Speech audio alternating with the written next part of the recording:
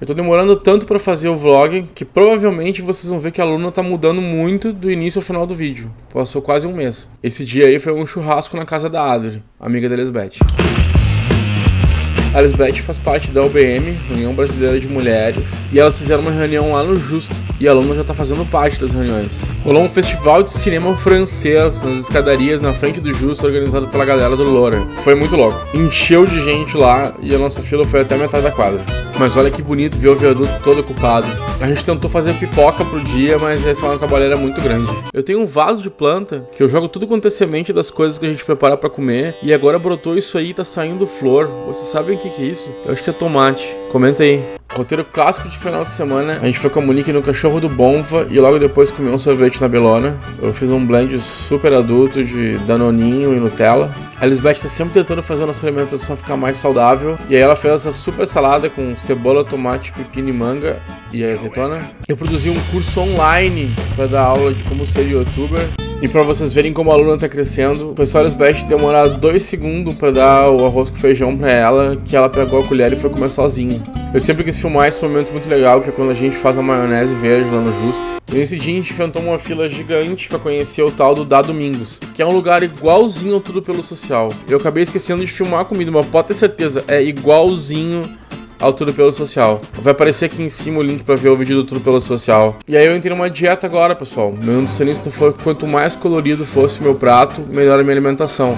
Essa semana eu escolhi o amarelo. Outro dia, ó, olha como eu tô seguindo minha dieta. Olha aí, o homem não para, sempre no amarelo, sempre colorido o prato, muita cor no prato. Eu sou muito determinado. A Lisbeth nos arrastou de novo para comer no Vivenda Portuguesa. E sobremesa eu comi um pastel de Belém e um cafezinho. A gente recebeu um, um lote de manjericão orgânico lá no Justo e ele veio com um mascote de brinde, que ele foi apelidado de Laguerta, porque a gente tem um drink lá chamado Laguerta. Mas a coitadinha não durou mais do que 20 minutos como mascote, acabou caindo uma fama quente em cima dela. Lamentamos muito. E o Jon Snow ficou exibindo seus dotes culinários. Quando a gente posta esses vídeos no Instagram, ele marca a namorada dele. Rolou um evento trimassa também lá na frente das escadarias do Justo, que foi o brechó de desapegos. E ao mesmo tempo tava rolando o Café Reparo, que é um evento trimassa, onde as pessoas levam coisas quebradas e outras pessoas que gostam de consertar vão lá consertar, tudo de graça, muito legal. A gente teve a visita de um boto cor-de-rosa no Justo, e teve um sábado que a gente foi almoçar no Habib's, e a Luna adorou a esfirra e brincou na piscina de bolinha que tem lá.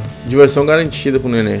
Pra seguir a dieta do prato colorido, sempre amarelo, a gente foi no galeto de Brescia e a Luna adorou comer polenta, mas o que ela adorou mesmo foi bife de frango. A gente saiu de lá e levou ela de novo com uma piscina de bolinha, dessa vez no shopping total. E eu não sei quem se divertiu mais, se foi ela ou a mãe dela. Acho que foi a mãe dela, né? O que, vocês acham? E não achem que a gente só dá porcaria pra criança comer. É que a gente só filma as porcarias. As porcarias são muito mais divertidas.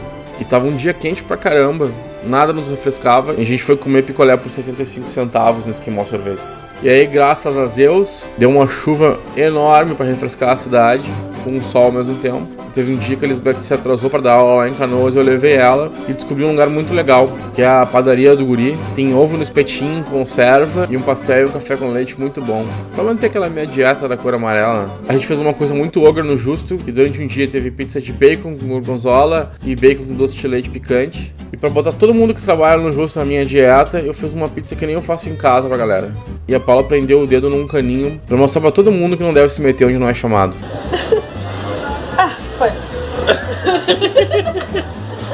Esse dia eu saí um pouco da minha dieta e comi salada ali no Cristo junto com o Yudi. E no Dia Internacional da Mulher a gente levou a aluna num ato que rolou na Praça 15. Pra vocês terem uma ideia de como a vibe é legal no Justo, essa noite a gente discotecou só música de memes.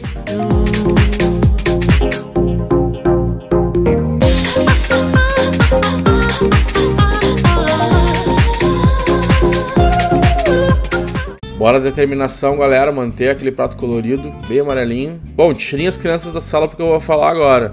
Mas a gente descobriu que dependendo do jeito que tu corta o figo, ele parece uma vagina ou parece um ânus. É o popular buceta e cu, né, gente? Essa foi para arrebentar com a dieta da cor amarela. O pessoal comprou um cheddar meio ruim para fazer uma pizza com borda. Eu falei para não botar, falei. E o bagulho estourou e encheu a pizza de cheddar ruim.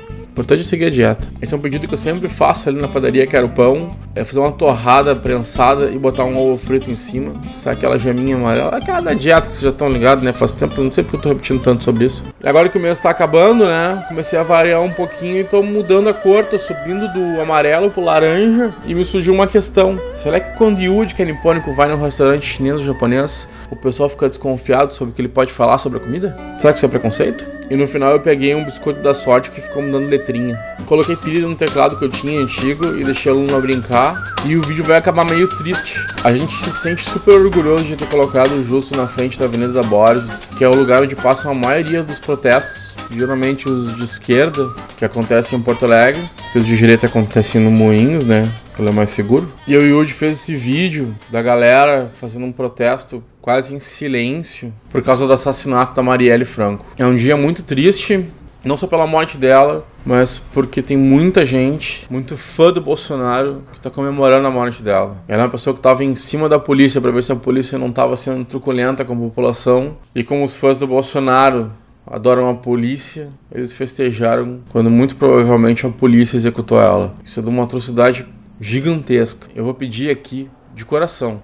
Se tu apoia o Bolsonaro e não tá pensando em mudar essa ideia, se tu acha legal comemorar a morte de uma pessoa que tá batalhando pelos mais fracos, sai do canal, por favor.